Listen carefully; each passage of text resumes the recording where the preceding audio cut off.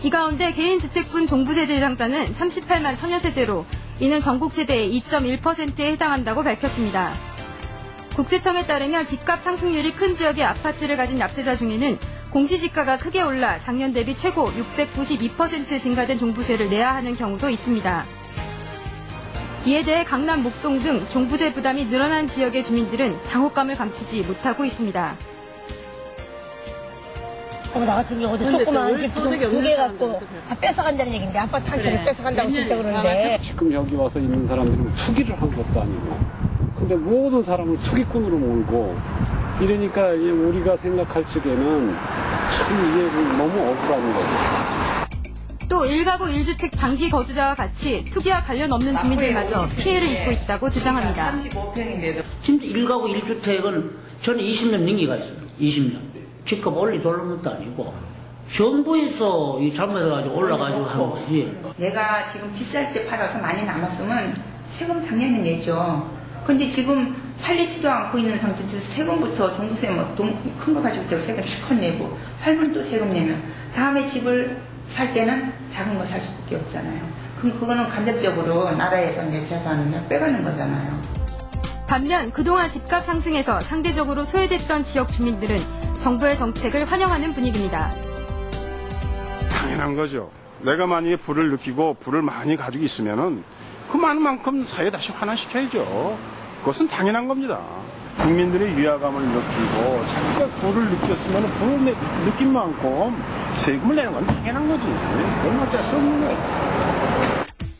시민단체 역시 실현된 소득이 없다 하더라도 자산 가치가 늘어난 만큼 세금을 높여서 부과하는 것은 타당하다는 입장입니다. 세금의 재원은 이 소득, 소비, 이 재산 세 가지 줄기이기 때문에 이 재산에 대해서 특히 우리나라처럼 재산이 GDP의 엄청난 부분을 차지하는 경우에 에, 그것이 미치는 경제적 효과가 워낙 크기 때문에 에, 재산에 대한 세금은 현실화하는 것이 사실은 맞습니다.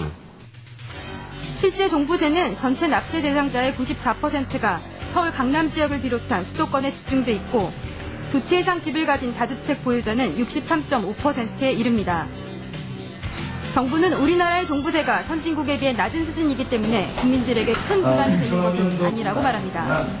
과세 표준을 90%까지 올리는 그런 계획이 끝까지 유지가 되는 경우에도 전체 에, 재산 가액 대비 세 부담의 재산세 부담의 비중은 0.89%로 어, 저희들이 추정을 하고 있습니다. 이 수치는 대부분의 선진국들이 갖고 있는 1% 또는 1.5% 수준에 비해서 아직도 훨씬 낮은 어, 비율을 나타내고 있기 때문에 그러나 장기적으로 부동산 시장의 안정을 이루고 종부세 제도의 긍정적인 효과를 보기 위해서는 보유세를 높이는 만큼 양도세를 낮춰야 한다는 지적도 나오고 있습니다. 그런데 지금 현행 제도는 보유에 따른 세금을 대폭 높이면서 이전에 따른 세 어, 부담도 어, 강화를 했습니다.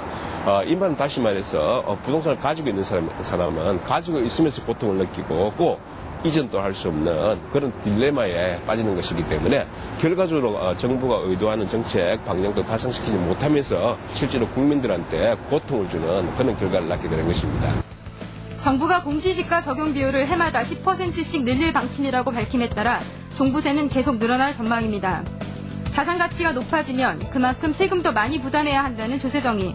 늘어나는 종부세가 그러한 조세정의 실현에 기여할 수 있어야 한다는 목소리가 높습니다. 그 원하는 효과가 단순히 집값을 낮추는 효과로만 해야 되는 게 아니고 이건 당연히 해야 될 걸 그냥 하는 거다. 당연히 해야 될 걸 여태까지 안 했던 것이 문제다라는 거예요. 그러면 자산이 많은 사람이 특히 불로소득을 많이 얻은 사람이 세금을 더 내는 건 그건 원래 당연한 거죠. 시사투나잇 이승합니다. 네. 뭐 실제로 이 몇 배로 오른 세금 때문에 이 벅찬 분들도 분명히 있을 겁니다. 어, 하지만 이 부동산 투기 광풍이 여전히 우리 사회를 전반적으로 흔들고 있는 상황에서 어, 집값 안정을 위해서 이 정도는 다소 무리가 있더라도 감수해야 한다는 것 이게 또 여론이죠. 네. 여기에 좀 귀를 기울일 필요가 있지 않을까 싶네요. 며칠 전 송도에서 있었던 예. 오피스텔 청약 사태 기억하실 겁니다. 이미 확인하신 것처럼 조금의 틈만 있으면 여전히 부동산 광풍은 휘몰아칩니다. 이런 상황에서 가장 효과적인 처방, 일관성 있는 부동산 안정화 정책 아닐까요? 소송에만 휘말리지 않아도 성공한 인생이라는 말이 있죠. 어, 소송이라는 것 아, 그만큼 어렵고 어, 때론 두렵기까지 한 일인데요. 그런데 요즘은 이 소송을 변호사 없이 혼자 하는 사람들이 늘고 있습니다. 아, 왜 나홀로 소송을 하게 됐는지 그 이유를 들어봤습니다. 사업을 하는 박영석 씨는 요즘 법률 관련 사이트에 접속하는 시간이 늘었습니다. 박 씨는 지난해 3월 자재를 납품한 건축회사로부터 대금을 받지 못해 이른바 나홀로 소송을 결심했습니다. 변호사님이 할 저기 안- 능력이 안 됐고 또 액수도 적고 그래가지고 이제 혼자 하게 된 겁니다. 박 씨의 소송가액은 약 4천만 원. 하지만 변호사를 선임할 경우 500만 원을 선 지급한 뒤 승소